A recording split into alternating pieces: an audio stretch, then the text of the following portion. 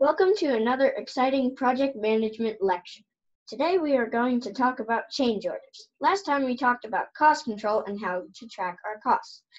Change orders are a big part of cost control.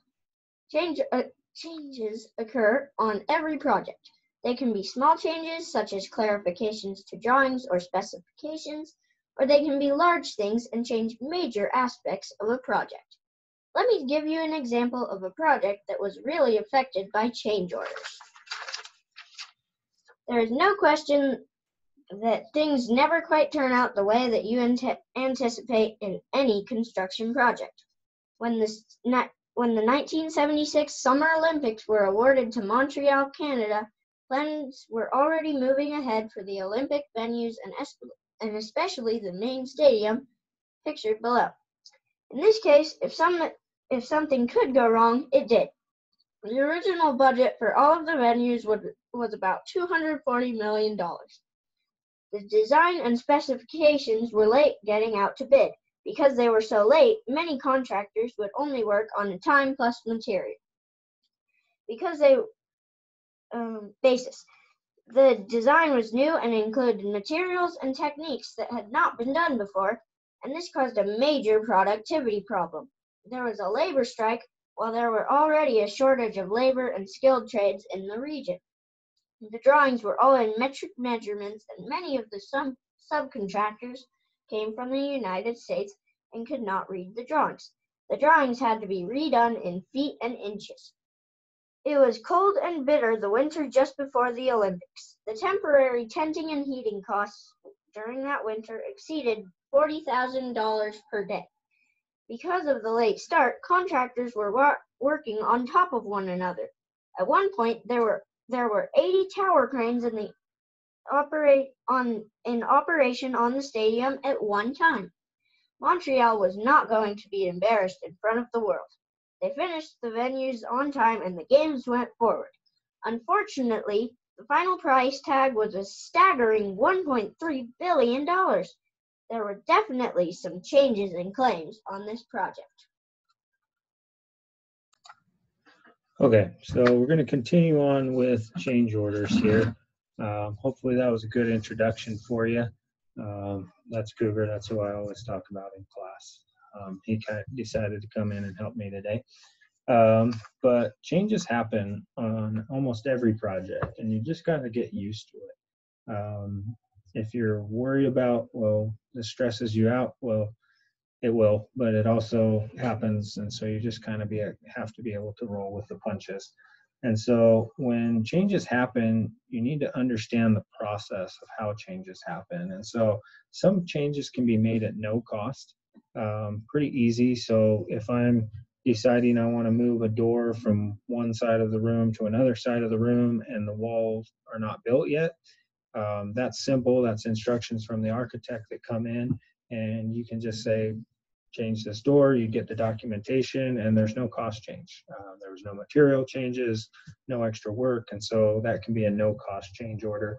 Others can affect um, costs and schedule, and these changes are called change orders. And so um, it's really just a settlement and a change in the contract. So anytime that the scope changes in a contract, uh, you'll end up having a change order. And so the best price for projects is given during the bidding process, during when there's competition and people are trying to win the job. That's when you're going to get the best price for an owner. Um, it's not through change orders, uh, that's for sure. Change orders are very expensive part of the process it's kind of like if any of you like working on cars, if you tried to build a car from car parts that you buy at the auto store, um, it would end up costing you probably five or ten times the amount than just buying a normal car that was built and assembled the way that it came off of the factory floor. And so the same thing kind of holds true with projects and change orders. Um, you don't want to build a project from change orders um, because the cost would be much higher. Um, change orders also shouldn't be a way that contractors make huge profits. Sometimes, especially on like a lump sum bid, contractors will go in with a low price and then you get contractors who are looking for every single thing that the architect missed or that there's no information on, and they just mark it up and do their change orders. And so you've probably seen that picture of the change order yacht, um, where you have a little dinghy hanging off the back of this big yacht. The little dinghy says uh, original contract, and then the big boat says change order. Um, that's kind of how contractors have done work, and that's not always an ethical thing. That doesn't win you a lot of friends, and it doesn't help you get repeat work either. And so, um, the way we look at change orders is the cost is higher because usually change order work is done quickly. Um, it's usually the work's already done, and then the changes need to be made on the fly. Um, you're trying to rush order materials to get things done and changed. And so you need to kind of look at that and say, um, this can be an expensive process. And so the best price is going to come up front. Um, usually, in terms of markup for change orders, you're going to get a specified markup in the contract. Uh, most of the time, it's 10%. It could be different, uh, but that 10% markup is what you get to include, which includes your management fee and any profit and overhead would be included in that for you as well. And so you want to make sure you're looking at the bid, um, bidding documents and what the contract says to price your change orders correctly. And so the change order process needs to be viewed as a way for the owner to make changes, uh, to pay for things left out that need to be put in or that they desire to change if they want to move a window or add a scope of work. Um, that's an opportunity to do that, but it's not for the contractor to make unreasonable profits. And so there's lots of changes that can happen on a project. And so I'm going to kind of go over here and write a couple of them. Let me share my screen with you. Mm-hmm.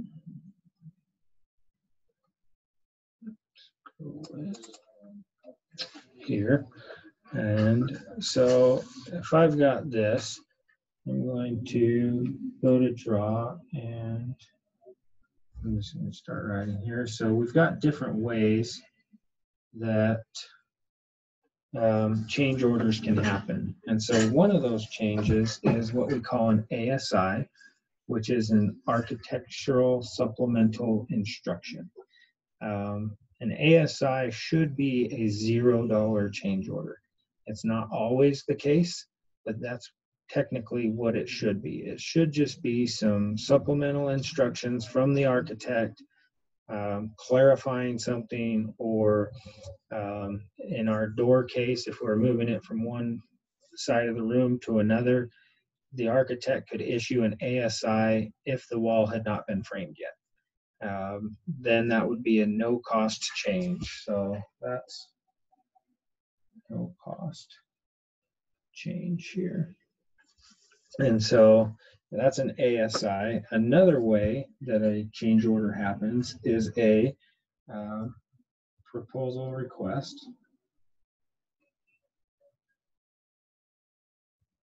Or a PR, which just essentially the architect sends out an information or a request, uh, proposal request, asking the contractor to price this change.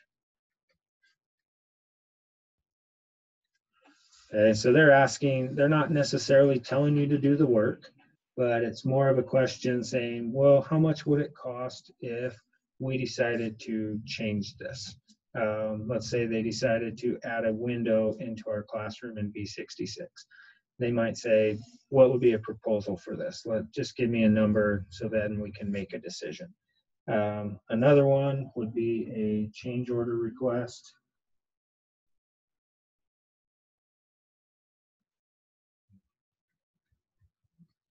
Which is a COR. Um, again, that's a price this change. So they're just asking you to do that. Um, now, a change directive is a CD or a construction change directive is pretty much the owner telling you do the work. Um, do the work and get me the cost after.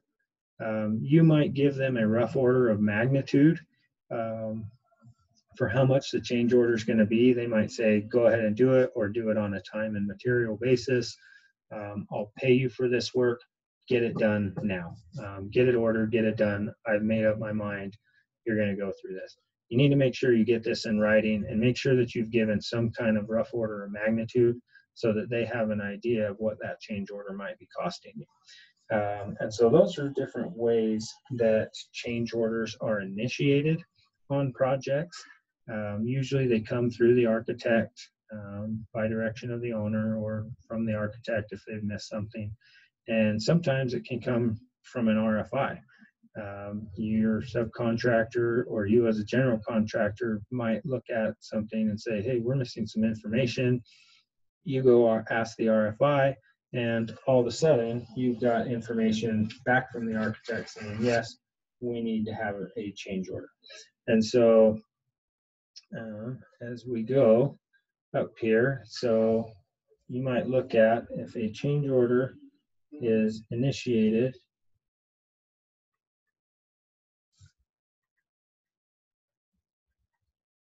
initiated by the contractor, then you have, you know, the GC sends an RFI, and then that goes to the architect. Um, and then the architect goes to the owners in some cases and looks at it and says, oh, should we do this? Um, and then the architect might say, oh, we've got a problem. So one ex exercise that I usually do in class um, is I give everybody, this is the one class that I would let everyone use their computers in, um, computers or phone, and I break you up into different roles. And so you might, some of you might have been the general contractor or the architect or the owner or a mechanical engineer or a subcontractor or a supplier. And so with all of these different roles, um, I give you each other's emails and you're all broken into groups and you go through the change order process. And so the process of that change order is the subcontractor comes through and they're building a bathroom in this office building and they discover that the ceilings of the bathroom are too low um, for the bathroom fans that were specified. And so the subcontractor takes that RFI and sends it to the general contractor and says, hey, the specified ceiling fans are too tall for the ceiling heights that we have. And the ceilings have already been installed. And so then the question becomes, what do we do? Um, and so the subcontractor says, what would you like us to do? And so then the general contractor goes to the architect and says, hey, listen, we have a problem. The bathroom fans are too tall for the ceilings. Um, we need to either lower the ceilings or we need to find a different fan. So then the architect uh, lets the owner know, and the owner says, well, let's let's go ahead and price this out. Let's look at our different options. And so the architect goes to the mechanical engineer and asks what other options are there. The mechanical engineer says, well, there's a lower profile fan that you can get, but there's going to be some costs associated with that. And so the architect sends back the request for change order or proposal request to the contractor and says, how much is this going to cost? Um, let's look at both options. How much is it going to cost? And the architect proposes lower fans or reduce the ceiling. So the contractor prices up both options. Um, and it goes through, you know, you as students, if you were in this scenario, you would be emailing back and forth.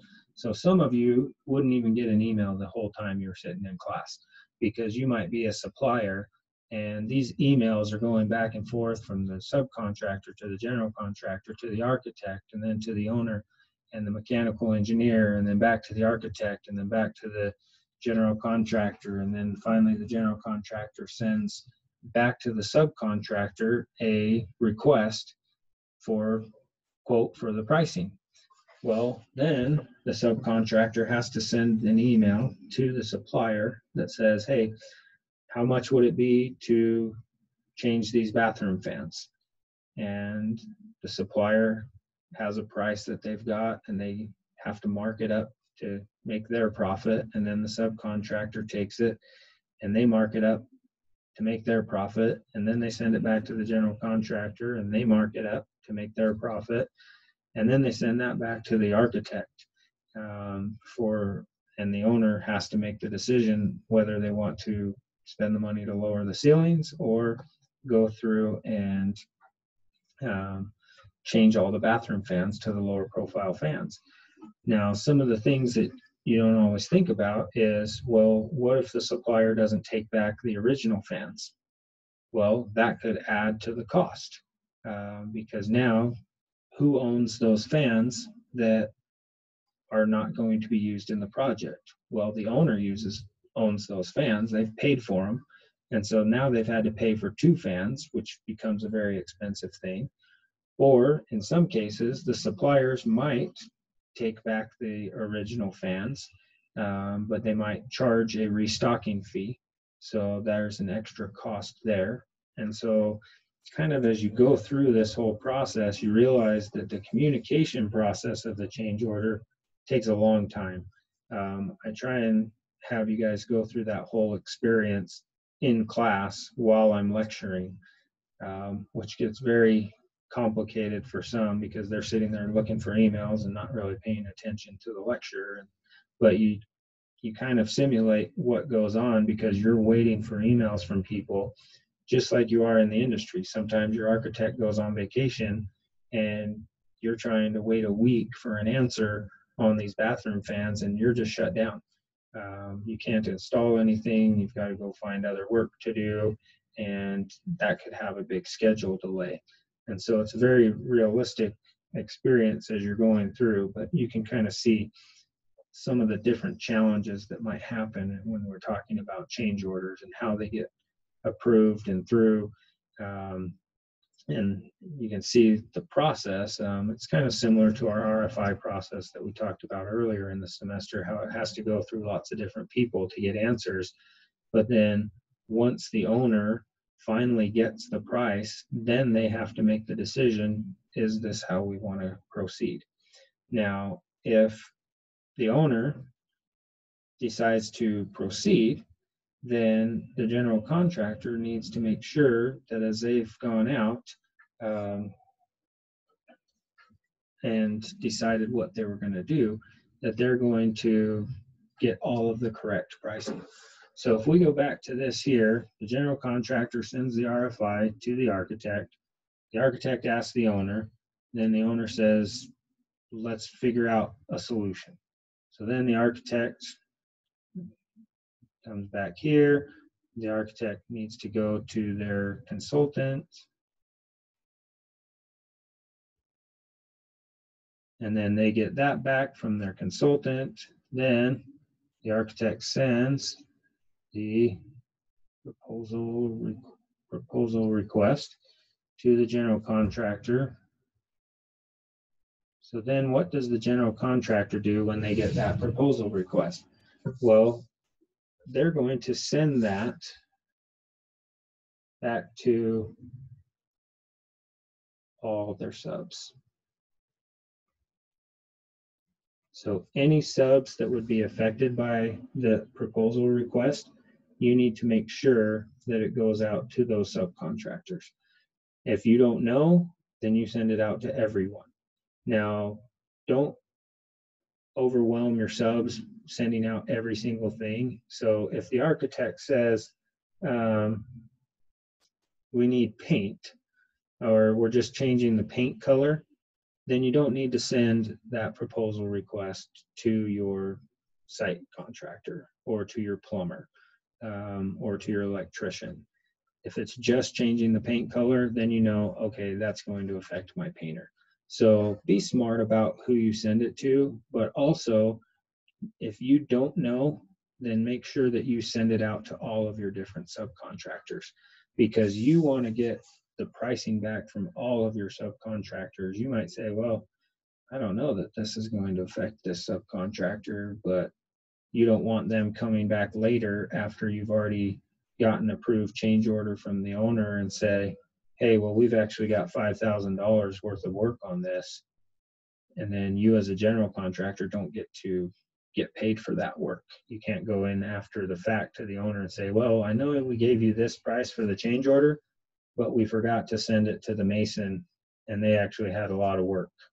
Um, you're going to have to eat that as a general contractor. And so, what I would do as a project manager is I would send out my change orders or my proposal request to all the different subcontractors that I knew that it was going to affect or that I thought it might affect. And I would ask them for their pricing. So the subs go, they come up with their pricing, and then they send it back. Now we'll go this way. They send it back to the GC. Okay. And they've put up all their markups. And so all of these prices go into that change order. So then you've got your general contractor who evaluates the change order. They look to make sure that it's legitimate pricing from the subcontractor and they go through and check it because sometimes subs might not have legitimate costs and it should have already been included, but they're just trying to make money. So as a general contractor, you're sometimes being really critical of these change order costs that come in. And so you get your um, amount from all your subcontractors, you add it all up, and you add up any costs and time that you might have. So if it's going to cause a delay in the project, you make sure that you put that in there because that could affect your liquidated damages down the road. And so you're going to add those costs for your change orders.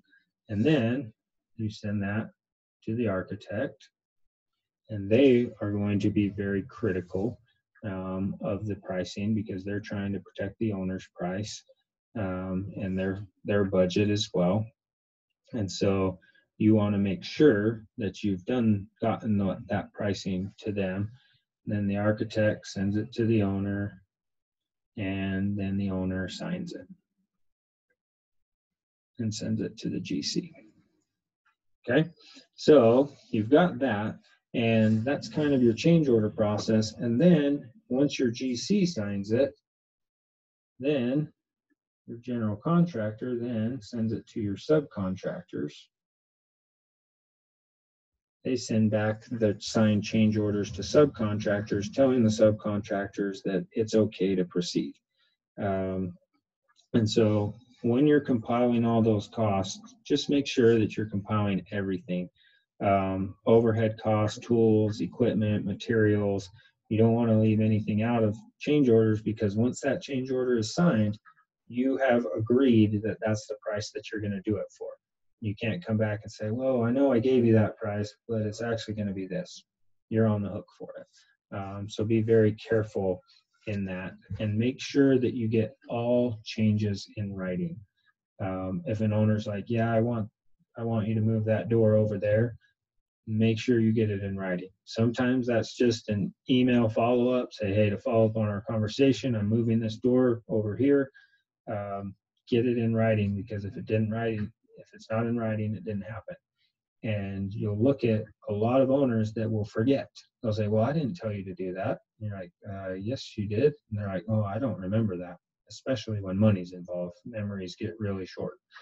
And so, be careful not to accept any verbal change orders, and don't let your subcontractors accept verbal change orders. Make sure that they are going through the change of chain of command and that the subcontractors know who is authorized to direct the work, uh, direct them to do work. And so make sure that they know that. And then once it's signed by all parties, once the change orders are signed by all parties, um, then work can proceed. Now, one of the things that I would do when I was getting pricing from my subcontractors, sometimes you send out a proposal request to subcontractors and you don't hear anything back. Um, and even when you put in language like, hey, I need all pricing within 10 days, and then it's been 12 days and you still don't have any pricing, and you know that it's going to affect their work, sometimes what I would do is I would send them a zero dollar change order for that proposal request um, and have them sign it so that they, if they don't have any costs associated with it, they have now signed away their right to come back and ask for cost. Um, that's just something that I did to kind of control costs and make sure that subs didn't come back later and try and claim money. And usually, if you send them a zero dollar change order for a piece of work and they have to sign something, that will prompt them to action to say, well, well, wait a minute, we do have costs. Well, I didn't get them from you, so let's see them. Um, and so sometimes it's just a way to get them moving and get the costs accounted for so that you can get those change orders turned around in a timely manner for the owner. Um, so as you do that and you get it all signed, then work can proceed. Um, if it's rejected, sometimes you might have to adjust the amount. Sometimes they say, no, this is too expensive, or I don't think these prices are okay. Um, so you can adjust your amount. You can try and lower and say, well, we can take some off um, or change it, or you can hold firm on it and the owner, you can have a disagreement with the owner and the owner says do it anyways, but then that's when you have a claim. Um, so a claim is, is usually an unresolved change on the project or an unresolved change order. And so that's something that you want to take into account. Now, the fee and overhead on a change order is usually specified again in the contract. Um, and so sometimes it might be 10%, um, which includes your overhead and profit. Um, for subcontractors, they might have a certain rate that they can charge in the contract. And so you want to make sure that you're checking that and that you are submitting changes in accordance with how they want the change order process given. So you want to make sure that you're keeping a log of all your change orders. On bigger projects, this can be a huge thing. Um, just like the example story that Cougar shared, um, a project went from 240 million to 1.2 billion. Um, a lot of changes happened on that project. And so keep a log for you. Procore has a change order log that um, you can check to make sure that what the status of different change orders are, whether they're pending status or whether they're being reviewed or whether they've been accepted and changed the contract. And so you can look at that. Um, so make sure you've got some detailed descriptions with your change orders. Don't just put um, a price and then give it to the owner to sign. There will be a lot of questions. Most owners want the backup. They want the subcontractor's proposal attached to the change order request. And so you need to provide as much backup as possible showing your costs that are justified to the owner. I know that I had an owner on a project, and for the first six or eight months, he would scrutinize every single change order that went through. He would go through every sheet of backup and um, be looking for every single dollar of what was being spent before he would sign the change order.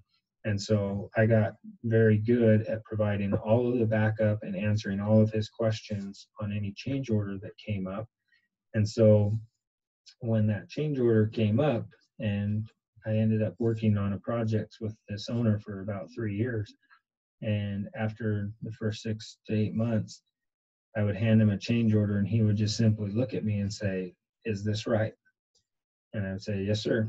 And he would sign it with no questions after that um, because he knew that I had set the expectation of providing the backup that he needed um, in case there was any questions. And so I was always providing the backup of our subcontractor and supplier proposals, um, our costs that were associated, maybe our estimates that were on there.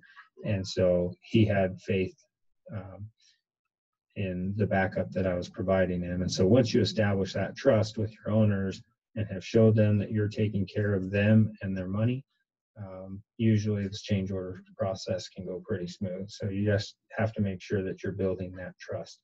Now, there is a document on, um, pull this up here.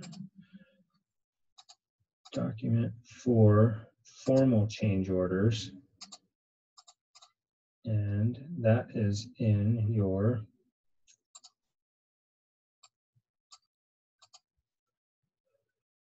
content section on Learning Suite.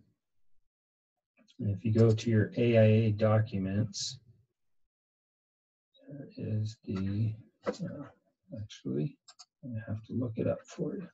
It is the G, the AIA G701.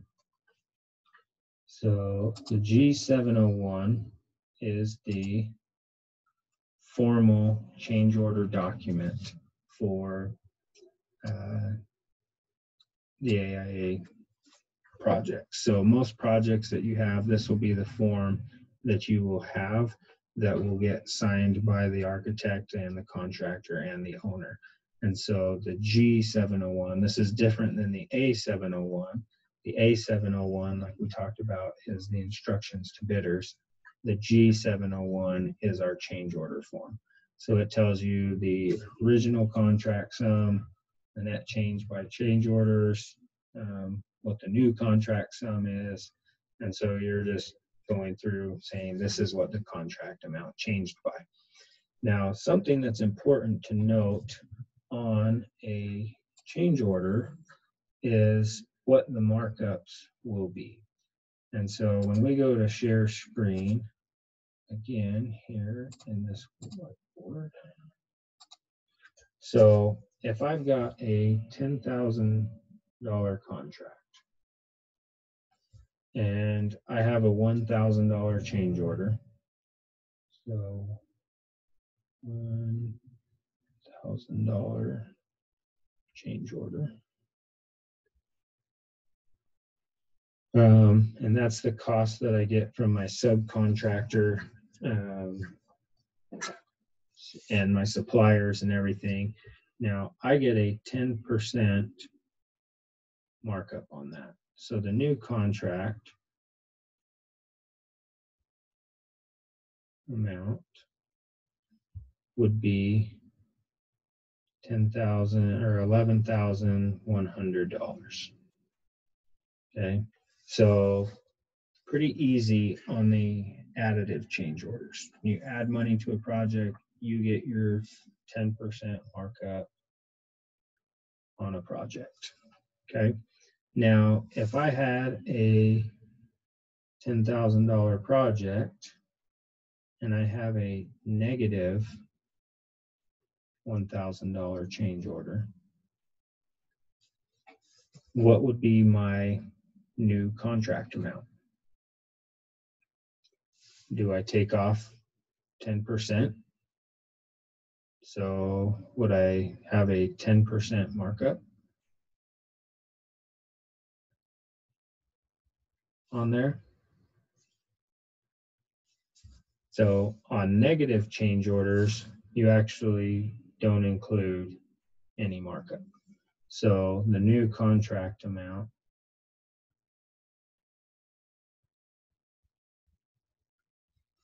is $9,000. Okay, so you don't give back fee on negative change orders. Okay, so that's kind of hard for some people to recognize why that would be, but um, you just don't give back fee on a negative change order because usually on a commercial project, your fee might be 3%. And so if I have to give 10% markup back on a thousand dollar change, I've just lowered my fee and I'm not making as much money on this project as I thought I was going to make. And so it doesn't make sense to give back the markup. You're just taking out of the contract um, the actual amount that's going. And so you don't get any, or you don't lose additional fee.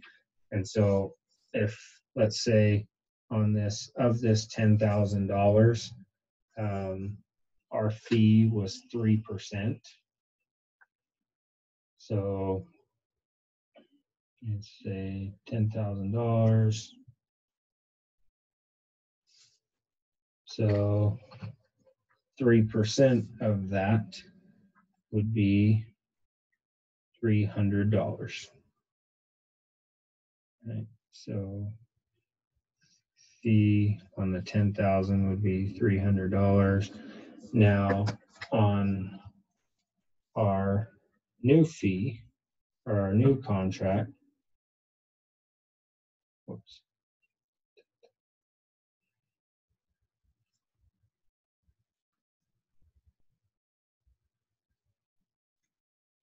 So now on our new contract amount, nine hundred, or our fee would still be three hundred dollars.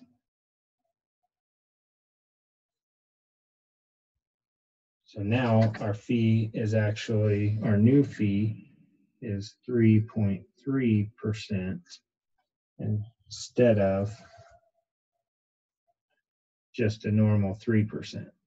So if our fee over here was three percent, at three hundred dollars, um, and then they subtracted a thousand dollars, our new contract amount is nine thousand dollars.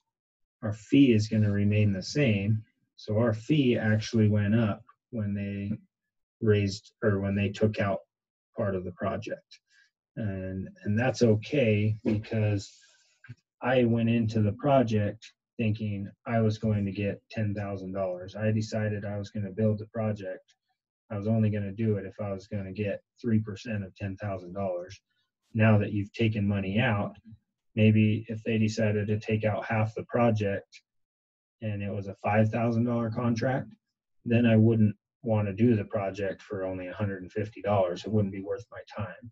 And so you don't have to give back fee on your change orders. Okay, so hopefully that helps you understand um, some change orders and kind of the process of change orders. You're going to have a change order assignment that helps you um, understand this a little bit more. And I'm going to show you here um, kind of what you're dealing with. And so part of it is here in Bluebeam. Okay, so in Bluebeam, there's a function called overlay to where you can compare two different drawings and see what changed. Because sometimes you're going to get drawings from architects in regards to change orders, and they'll send you a new sheet. And most of the time, they will have on their sheet, it might have something clouded, right? They might say, change this window. Um, and that would help you know that, hey, that's where a change was and that's what you're looking for. But sometimes architects don't always do that. Sometimes they forget, or sometimes they just leave it out and expect you to find the change. And you're held accountable for it, anyways, even if it's not clouded. And so we don't always like that. And so Bluebeam's um, overlay feature is a really nice thing to be able to look at. And so when we go to document and we go overlay pages, so I've got my two different documents here, and I'm going to cancel that. I'm going to show you the two different documents. So this is the RFI assignment, sheet A1, first floor plan. So this is our original plan. And then the change order assignment sheet gives us this plan. And it looks very similar, but if you look at them going back and forth, you'll notice a few things. This one has all these lights on here. Um, and this one doesn't have any of those lights and it doesn't have a desk there like there is on this one. So there's definitely some changes. And so to be able to see what those changes are, I open both of these in my Bluebeam and then I take my document and I go to overlay pages. And you might need to change these colors if you're colorblind. Um, this is red and this is green. And so if those affect you in your color blindness. You might need to change those colors so you can see what changes. But I'm going to leave them there for now, and then I'm just going to hit OK.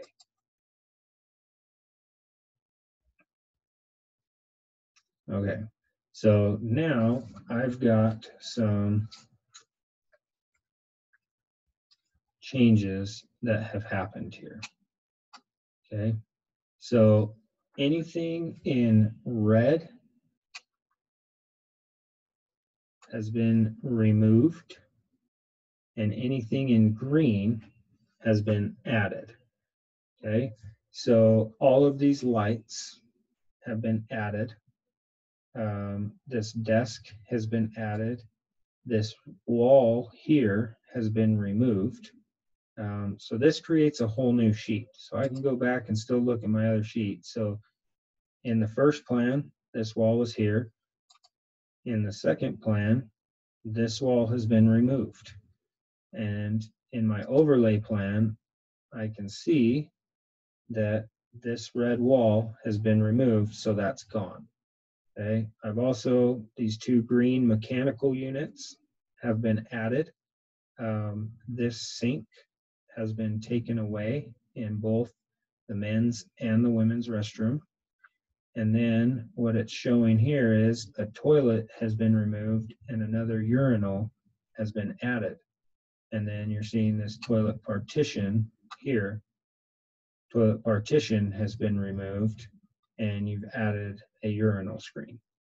Okay, so you're looking at these different things that have been added and subtracted. And so you are going to go and do a change order based on the change order assignment instructions that I've given you, but you're going to use this plan. So you might say, oh, this green wall is new, so they've added this much wall.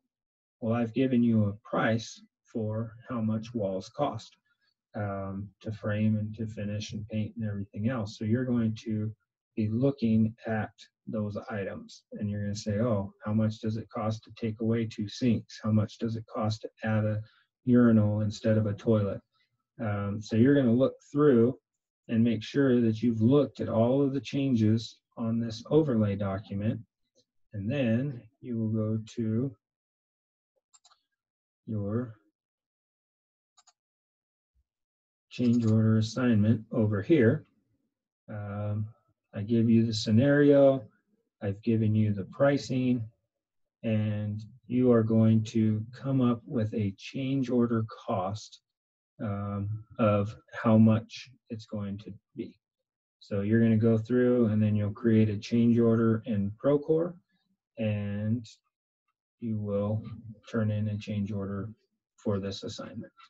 Okay, so you'll kind of have the experience of getting a change order and estimating your way through it and then turning it in um, as a change there. So um, that's kind of our main gist of our um, change order lecture. Um, hopefully you kind of understand the process of how when changes do occur on a project, where they go. Um, it's got to follow the line of command. It's got to go through the general contractor, to the architect, through the owner. Has to get approved um, based on the pricing. And you want to make sure that you've got all of your pricing in there because that's your one shot of getting the costs uh, paid for. Because once you sign that change order, that's just like signing a lump sum bid saying, yep, this is the cost that it's going to be. This is what I'm going to charge you. This is what you're going to pay. And so if you have costs that you forgot to put in there, you get to eat those costs. Um, and so be careful with that, but also don't just look at it as an opportunity to make um, unfair profits on your owner. Always remember that you're trying to build these relationships with owners, and the owners probably are going to have another project. And so you need to make sure that you're treating them fairly. You want to make sure you're getting paid for your work, but you want to make sure that you're treating your owner fairly um, and going through. And sometimes owners um, will expect you to eat a lot of change orders. And sometimes you know, I know some owners where they're like, if it's less than 500 bucks, I don't even want to see it. Um, just figure out a way to do it. Um, because especially if it's on a $30 million project, uh, they're going to think you're nickeling and diming them if you're just turning in 300 $500 change orders. Um, but you got to be careful that you don't just keep eating all of those because um, you will end up losing money if you eat them all. But sometimes you make that decision to where you say, um, uh, how are you going to get things paid for? Um, where you say, oh, I'm going to make a decision and say, well, yeah, this is three thousand dollars. I think it's a legitimate change order, but the owner doesn't. And you know, you work with your company executives to say, do we eat this one because we want to keep them happy and they have another thirty million dollar job that's bidding next year and we want to be their contractor of choice. Sometimes you make that decision. Um, but change orders can become a point of contention um, and it can be something that you really need to manage on a project because they can get out of control really quickly. If you have any questions, please reach out and call me. Um, I can try and explain any part of this lecture more in more detail if you need, and um, hopefully you've got enough information to work on your change order assignment. If you have questions on the homework, again, please call me and we only have a few lectures left. Um, I think we have billing and then kind of some closeout and project reviews and then an organizational project management and then one other. So uh, we're getting close to the end of the semester. Hopefully all of your other classes are going well um, and that you're dealing with your quarantine and shutdown the best that you can. Um, I miss having you guys in class. I hope things are going well and we'll see you in the next lecture.